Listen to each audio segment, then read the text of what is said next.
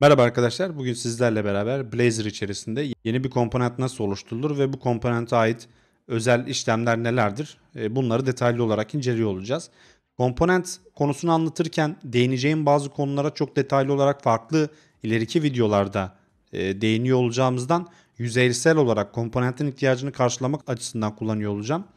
Ama aklıma gelirse video içerisinde unutmadan sizlere daha sonraki videolarda detaylı olarak değineceğimi zaten belirtiyor olacağım. Eğer yüzeysel olarak geçtiğim bir konu varsa lütfen bunun daha sonra detaylı detaylandırılacağını bilmenizde fayda var. Şimdi hemen hızlıca örnek Blazor App projemizi ve tarayıcıda açmış oluyoruz şu şekilde. Örnek Blazor projesini açtığınızda arkadaşlar Index Razor içerisinde Survey Prompt dediğimiz bir tane komponent var. Varsayılan olarak Blazor projesi içerisinde gelen bir komponent. Bunun nerede tanımlandığını görmek için arkadaşlar shared dizinin altına bakmanız yeterli. Survey prompt.razor dosyasının içerisine girdiğinizde title parametresi alan yani dışarıdan kullanıcıdan bir parametre alarak dinamik olarak içerik oluşturan bir komponent. Bakın gördüğünüz gibi dinamik olan kısım sadece title. Şuradaki text alanı ve ikon dinamik değil. Çevrilebilir tabii ki. Description yapılabilir. Dışarıdan farklı bir ikon tanımlanarak tamamen jenerik bir hale getirilebilir.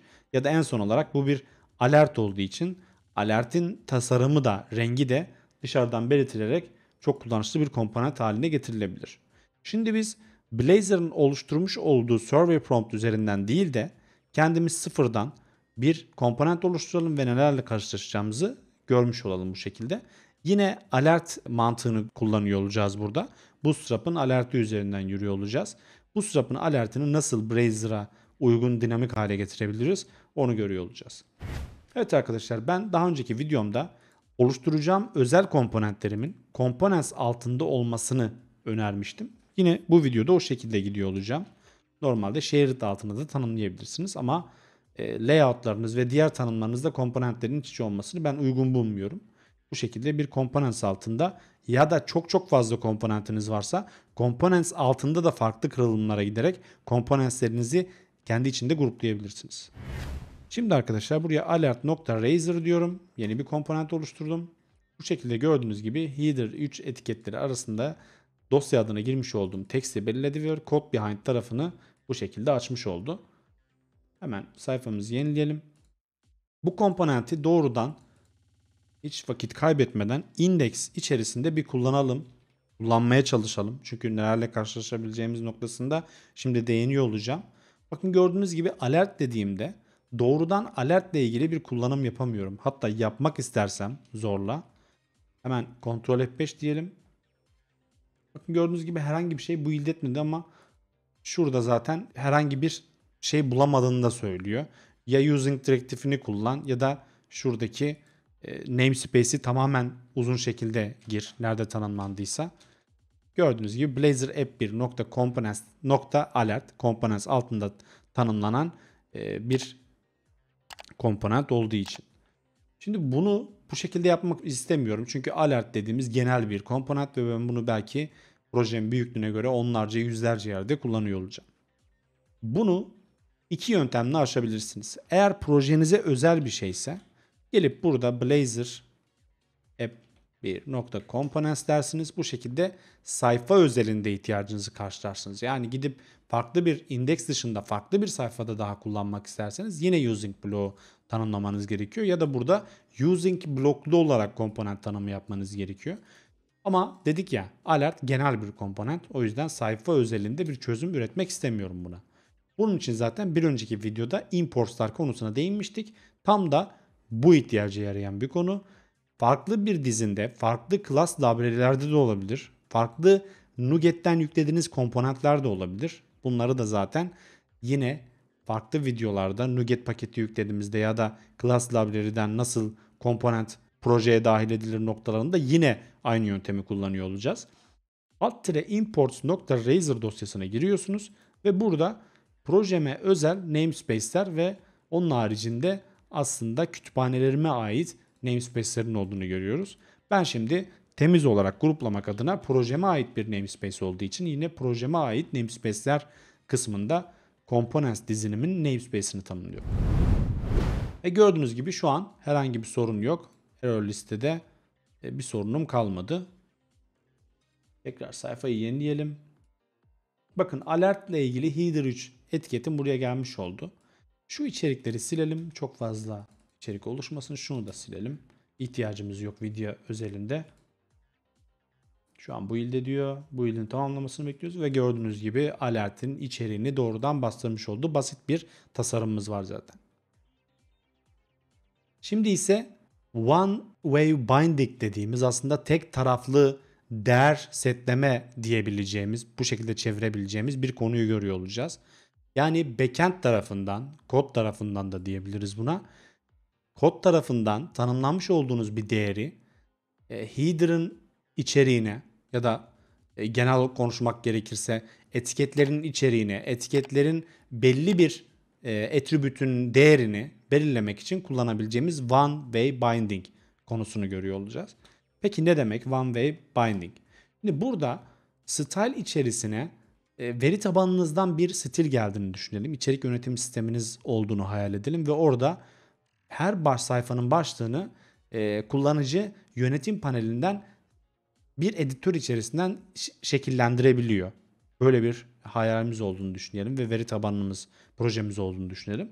Hemen buraya private string style adında bir field tanımladık. Buraya da font size diyorum. Bu değişikliği yapmadan önce şuradaki header 3 etiketimizin içeriğini görüyorsunuz, boyutunu görüyorsunuz. Şimdi onlarla oynuyor olacağız. 50 piksellik bir görüntü olmasını istiyorum. Ve bu style field'ımı header 3 etiketinin style attribütüne uygulamak için şöyle bir add direktifi uyguluyorum arkadaşlar. Çünkü buraya e, backend tarafında oluşturmuş olduğum kod tarafındaki style adındaki field'ımı tanımlıyor olacağım. Add style dediğimde bu şekilde one way binding olayını doğrudan yapmış oluyorum. Yani kod tarafından UI tarafına data aktarımını bu şekilde sağlamış oldum. Bakın az önce font size'ı farklı daha küçük olan bir header 3 stillendirmesini büyütmüş oldum bu şekilde. Daha farklı içerikler yapabilirsiniz. Bu tamamen sizin elinizde olan bir konu. Buna red diyelim. Bu şekilde rengini de değiştirmiş olacağız kırmızı olarak. Gördüğünüz gibi. Bu şekilde one way binding olayını da görmüş olduk. Şu an yaptığım değişiklikler, e, işlemler daha doğrusu alert özelinde, daha doğrusu Bootstrap'ın alertini oluşturmaya yönelik işlemler değil. E, onu da yol yakınken bahsedeyim. Ama komponent özelinde one way binding nasıl yapılır, two way binding nasıl yapılır, e, import tanımları nasıl yapılır, komponent tanımladığınızda bir import eksikliği varsa bunları anlatıp daha sonra bir Bootstrap alert yapısını nasıl sıfırdan komponent haline getirebiliriz onu görüyor olacağız. Şimdi temel konulara değiniyor olacağım. Şimdi az önce one way binding olayını tamamladık. Kod tarafından UI tarafına değer aktarımı nasıl yapıldığını gördük. Şimdi ise arkadaşlar UI tarafından backend tarafına, backend tarafından UI tarafına nasıl data aktarımını yapabiliriz onu göreceğiz. Şimdi bir tane input tanımlıyorum hızlıca. Ve bu input'uma ait çok fazla uğraşmadan bir e, bootstrap görünüm olması için form control class'ını verdim. Şimdi burada eğer value'ya direkt style atamasını yaparsam bu neydir? Bu one way binding'tir. Yani kod tarafından input'u güncelleyebilirim ama input'tan girdiğim değerle ben şeyi güncelleyemem. Backend tarafını güncelleyemem. Bakın şu an gördüğünüz gibi input'a şurada tanımlamış olduğum değerler aktarılmış oldu ama one way binding olarak tek taraflı değer setleme diyebiliriz. Buraya blue yazıyorum. Mavi olarak değişmesini bekliyorum normalde şuradaki içeriğin ama gördüğünüz gibi herhangi bir değişiklik olmadı. Çünkü UI taraftan backend tarafını güncelleyemiyorum. Bunu two-way binding'e çevirip her iki taraflı olarak veri akışını sağlamak istiyorum. Bunun için yapmanız gereken add bind diyorsunuz arkadaşlar. Yine bind çok detaylı ele alınacak bir konu. Bunu da ayrı bir videoda detaylı olarak görüyor olacağız. Buna yine style tanımını veriyorsunuz. Şu şekilde etli bir kullanım yapmak zorunda değilsiniz. Şöyle bir şekilde de kullanabilirsiniz. Şimdi tekrar refresh ediyoruz. Buraya blue diyorum arkadaşlar. Odağımı input'tan ayırıyorum. Yine odağımı input'tan ayırmadan nasıl yapabileceğimi bind'a özel videoda görüyor olacağız. Bakın gördüğünüz gibi doğrudan tasarımım değişti. Hatta UI tarafına şekilde etkilendiğini görebilmek için incele aracı incele aracını açıyoruz. Chromium altyapılı tarayıcılarda. Hemen şu header'ımızı seçiyoruz. Bakın font size 50, color'ı blue olan bir tanımlama doğrudan yapılmış. Green diyelim. Gördüğünüz gibi gayet rahat bir şekilde two-way binding'i de yapmış olduk. Components özelinde kullanabileceğimiz çok temel konulardan bahsettikten sonra şimdi oluşturmak istediğimiz Bootstrap alert komponenti için şu içeriklerin tamamını siliyoruz. Kod tarafındaki kısımları da siliyoruz ve hemen referans alabileceğimiz Bootstrap alert dokümantasyonuna gidiyoruz. Şöyle sıfırdan girelim Google'dan. Diğer bilmeyen arkadaşlara da faydası olması adına Bootstrap alert dedik. getbootstrap.com domain altında yer alan alert başlıklı sayfaya giriyoruz. Ve burada gördüğünüz gibi farklı renk tonlarında alert olduğunu görüyoruz. Bu alertleri nasıl dinamik olarak kullanabileceğimizi gelin hep beraber hızlıca görelim. Şimdi burada son kullanıcıdan e, komponent olarak oluşturulduğumuz şu dosyaya, komponentimize daha doğrusu nasıl dışarıdan veri alabileceğimiz noktasında kullanabileceğimiz e, attribute parametre attribütü. Zaten varsayılan olarak Blazor projesinin oluşturmuş olduğu Survey Prompt adındaki dosyaya girecek olursanız burada da parametre kullanımını görebilirsiniz. Bu da doğrudan dışarıdan title alıp e, ona göre Survey Prompt dediğimiz komponentin içeriğini oluşturan bir komponentimiz. Şimdi biz de burada alertin rengini ve alertin e, description'ını alabileceğimiz basit iki tane parametre olan bir komponent oluşturacağız. Hemen Bootstrap söz dizimine ait kodumuzu öncelikle şu şekilde alıyoruz. Şöyle bir yapıştıralım. Şimdi üzerinde oynamalar yapacağız. Nedir? İlk önce dedik ki description alacağız. Adım adım gidelim. Parametre dedik. Parametre tanımlamadığınızda neler oluyor onu da görelim. Hemen şöyle bir prop tanımı yapalım. Parametreleriniz prop olmak zorundadır. Field vesaire tanımlayamıyorsunuz dışarıdan erişilebilmesi için. Prop olmalı ve public olmak zorunda. Bu private, protected, internal vesaire olmaz. Siz bunu eğer e, private olarak tanımlarsanız arkadaşlar zaten compile time'da hata yersiniz. Buna parametre attribütü tanımlayıp bunu da private yaparsak ne demek istediğimizi şöyle bu iledelim ve anlayalım. Gördüğünüz gibi doğrudan engellendik. Hatamız ne? Component parametre should be public olmak zorunda hatasıyla karşılaştık. Bunu istediğiniz e, erişim belirleyicisine çevirin. Public dışındaki tüm erişim belirleyicilerinde aynı hatayı alıyor olacaksınız. Evet arkadaşlar şimdi parametresiz kullanım yapıyoruz dedik. Public kullanıyoruz dedik. Şuraya bir isim belirliyoruz. Ne dedik? İlk önce description diyelim. Alert'in description'ını tanımlayabileceğimiz bir tane parametre oluşturduk. Geliyoruz şimdi. Index içerisinde bu alerti kullanmıştık. Hemen index içerisine geldik ve buraya bakın şöyle bir liste açıldı ve burada herhangi bir description adında parametre olmadığını görüyoruz. Parametrelerinizin bu şekilde şuradaki listeden görünebilmesi ve içerisine değer aktarabilmeniz için yani komponente değer aktarabilmeniz için parametre attribute'u kullanmak zorundasınız. Yine parametre detaylı olarak farklı bir konuda ele alıyor olacağız. Şimdi bakalım parametre kullanabiliyor muyuz? Şöyle bir listeyi açalım. Bakın gördüğünüz gibi description adlı parametremizi doğrudan görebiliyoruz artık. Ne diyelim buraya arkadaşlar? Bu sayfada düzenleme yapma yetkiniz yoktur diye bir uyarı olduğunu söyleyelim. Hemen projemizi yeniden başlatıyoruz. Şimdi bu hatanın da çıkması güzel oldu. Şurada tanımlarken e, prop tanımı yaptığımız için varsayılan prop tipi int oluyor arkadaşlar. Onu gözden kaçırdık. Birçok erişim belleyicisi vesaire parametre tanımlamanız gerekiyor konusuyla ilgilenirken şuradaki string tanımını değiştirmeyi unuttuk. Daha doğrusu string olarak tanımlamayı unuttuk bu description'ı. Bunu string'e çeviriyoruz. Bu şekilde e, int olmadığı ile ilgili birçok hata aldık burada. Şimdi şunu tekrar çalıştırıyorum projeyi. Gördüğünüz gibi string olarak tanımladıktan sonra herhangi bir hatayla karşılaşmadık. Ve burada description içeriğini de uygulamadığını görüyoruz. Neden? Çünkü parametreyi tanımladık ama şuraya şu isimdeki param e, prop tanımımızı yapmadık. Şu şekilde prop'umuzu kullandıktan sonra tekrar rebuild ediyoruz. Projeyi yeniliyoruz. E gördüğünüz gibi bu sayfada düzenleme yapma yetkiniz yoktur dedi ama bir e, bilgilendirme şeklinde söyledi.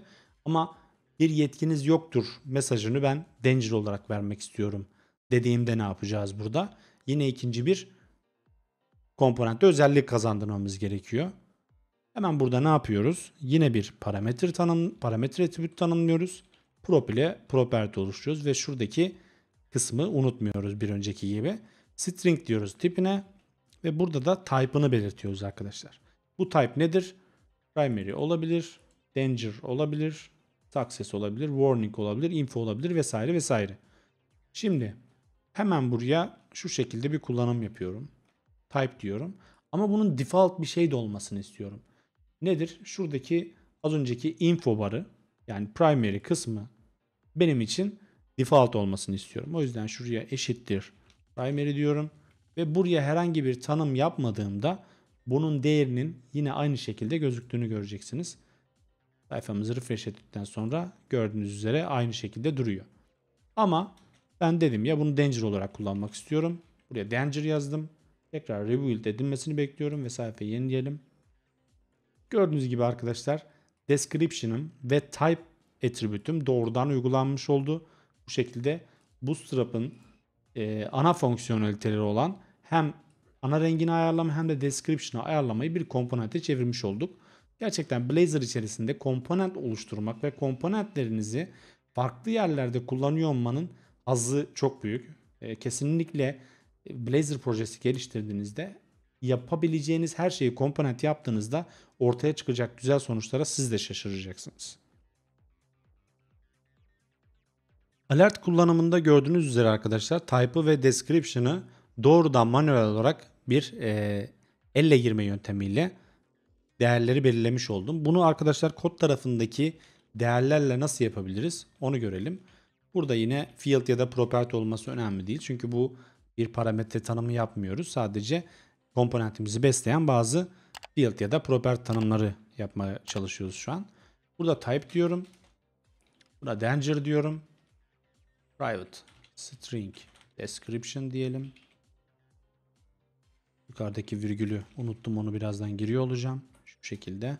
Şunu da yaptıktan sonra şuradaki description'ı da buraya alıyorum arkadaşlar. Ve burada artık şu şekilde bir kullanım yapabiliyorum. Böyle type diyemezsiniz. Çünkü string olarak tanımlanmış olan komponentlere şu şekilde bir kullanım yapmanız gerekiyor. Add işaretiyle beraber hangi değişkeni kullanacağınızı belirtmeniz gerekiyor. Şuraya da add description diyerek field'ımı, property'mi ya da diğer tanımlarınızı kullanabiliyorsunuz. Tekrar refresh edilmesini bekleyelim. Ve yine aynı sonucu aldık arkadaşlar. Bir diğer örneği de dinamik olarak e, sayfa içerisinde dinamik olarak bir değişen bir değeri komponente atayalım. Ne demek istediğimizi şöyle şunu alalım arkadaşlar. Counts içerisinde dinamik olarak değişen bir tasarımımız var. Yine Blazor örnek projesinde gelen bir tasarım. Bizim oluşturduğumuz bir tasarım değil. Şimdi burada kod tarafı zaten var. Şu içeriği alıyorum. Ben hızlı olması açısından yapıştırıyorum. E, kopyala yapıştırı kullanıyorum ama siz e, eğer yeni başlayan biriyseniz lütfen yazmaya özen gösterin. Daha hızlı öğrenebilmek açısından. Şimdi type'ı bu şekilde belirttik. Description'ı da bu şekilde belirttik. Burada ben description olarak sadece şu current count değerini vermek istiyorum. Geliyorum buraya. Şu şekilde counter sayfamdan alert'in description'ını dinamik olarak parent'taki her içerik değiştiğinde komponentin de değişmesini istiyorum. Ama bakın burada bir hatayla karşılaştık. Hemen geliyoruz buraya. Int'i string'e çeviremedim dedi. Type safe olduğu için C Sharp bunlar çok normal şeyler. Bunu isterseniz şu şekilde toString yaparak her seferinde değer değiştiğinde toString olarak alt komponente gönderimini sağlayabilirsiniz. Bakın her tıkladığımda alt komponent de artık parent'taki parent dediğimiz zaten counter denilen sayfa sayfamızdaki her değer değiştiğinde komponentin içerisindeki değerin de doğrudan değişmesini sağlıyoruz bu şekilde. Şimdi burada doğrudan bir değişkeni gönderdik ama e, Bazı string merge'lemeleriyle nasıl yapabiliriz? Ne demek istediğimizi şöyle daha iyi anlayacağız. Şurada description gönderdik. Bu description'da ne yazıyor? Bu sayfada düzenleme yapmaya yetkiniz yoktur dedik. Ama bir açıklama ile beraber current count değeri göndermek istesem nasıl yapabilirim? Şurada arkadaşlar eti şu şekilde kullanabiliyorsunuz. Bir expression kullanacaksanız uzun bir söz dizimi. Bunu yine ayrı bir videoda göreceğiz detaylı olarak ama bu videoda yeri gelmişken söyleyelim. Mesela burada ne yapabiliriz? Şöyle bir format uygulayalım. Ee, counter sayfasındaki current count değeri diyelim ve buraya da şu şekilde current count değerini gönderelim.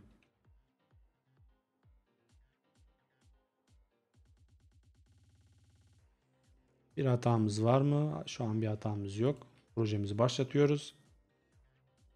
Bakın burada gördüğünüz gibi current count'un bu şekilde yazmasının sebebi ben e, sayfadaki değişkenin adını belirtmek için bu şekilde string içerisine yazdım. E, ama bizi ilgilendiren kısım aslında şuradaki sıfır. Ve tıkladığımda hem bir string hem de sayfadaki bir değişkenin değerini nasıl bir child komponente gönderebiliyoruz onu da görmüş olduk. Daha önce nested layout konusuna değinmiştik arkadaşlar. Burada da components kullanımında nested komponenti nasıl yapabileceğimizi hızlıca görelim. Şimdi böyle bir şeye neden ihtiyaç duyabiliriz? Farklı bir komponent tanımınız yine farklı bir komponenti kullanmaya gereksinim duyabilir.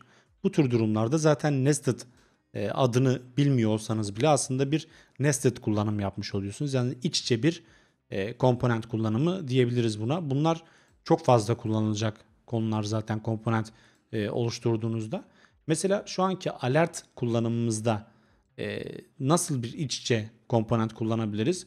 Böyle bir e, senaryo gerçekleştirelim arkadaşlar. Burada description bir string bir değer ve bu string değer üzerinde e, font işlemleri yapabilirsiniz ya da sayfanıza özel e, font gereksinimleri vardır. Bunları da text komponenti altında jenerikleştir jenerikleştiriyorsunuz. Yani merkezi bir yerde tüm text işlemlerinizi yapıyorsunuzdur.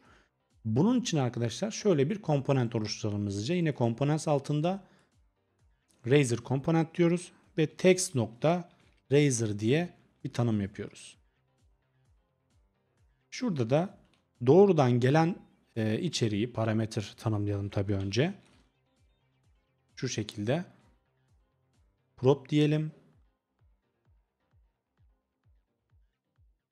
Şuraya string diyoruz ve adına da text diyoruz property'nin. Şurada text tanımımızı yapıyoruz. Herhalde şeyle eşleştiği için şuradaki isimle eşleştiği için e, bunu content diyelim buna şu şekilde. Tamamdır. Dosya adınızla aynı isimde bir property oluşturmamıza izin vermedi haliyle. E, bunu çözmüş olduk content adı vererek.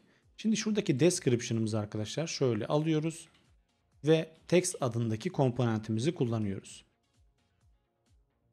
Gördüğünüz gibi hızlıca kullanmış olduk bunu da.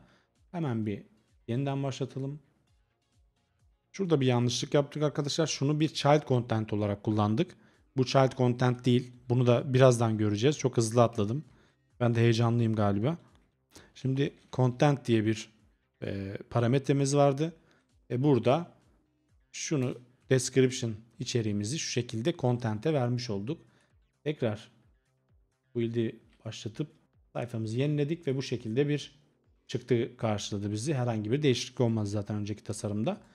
Ama text özelinde bir şeyler yapmak istersem artık merkezi olarak belki binlerce yerde kullanacağım text contentlerin merkezi olarak bir yerde yönetebileceğimi biliyor olmanın rahatlığı var artık. Şimdi arkadaşlar burada parametre olarak aldık. Dedik ya az önce child content ile ilgili bir hata aldık. O tür kullanım ne işe yarıyor? Yani şunu alıp property ile değil de diğer adıyla parametreden göndermek yerine şu şekilde de gönderebiliyorsunuz kolaylıkla. Hemen onu nasıl yapabileceğimizi görelim. Bunu yapmak için arkadaşlar yine farklı bir videoda çok detaylı olarak ele alınacak render fragment denilen yapıyı kullanıyoruz. Yani parametre olarak değil de etiket aç kapat yaptığınız komponent adları içerisine almış olduğunuz değerin nasıl e, komponent içerisine aktarılabileceğini göreceğiz. Buradaki içerik e, string, int vesaire olmak zorunda değil. Buraya gelip div de tanımlayabilirsiniz ya da farklı bir komponentinize ait tanımı da yapabilirsiniz. Nedir bu? Şu an alert kullanımı yanlış. Bu şekilde bir kullanım yapmayın. Recursive bir kullanım olur bu ve hataya sebebiyet verir. Ama farklı bir dos şey komponent adının olduğunu düşünün burada. E, bu şekilde render fragment'ta da istediğiniz şekilde e, HTML kodları ya da kendi komponentinize ait kodları ya da doğrudan bir değişkene ait içeriği gönderebiliyorsunuz. Peki text tarafında bunu algılamak için nasıl yapacağız? Artık buna bir ihtiyacımız kalmadı. Sadece şunu yapabiliriz. Parametreyi yok ediyoruz.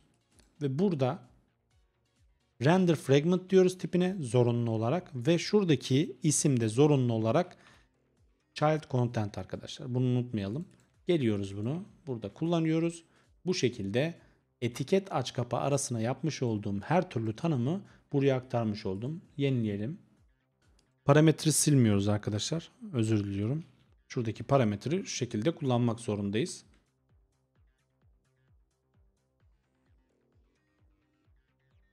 Evet doğrudan yine aynı görüntüyü elde etmiş olduk ama bu sefer child content yöntemiyle elde etmiş olduk.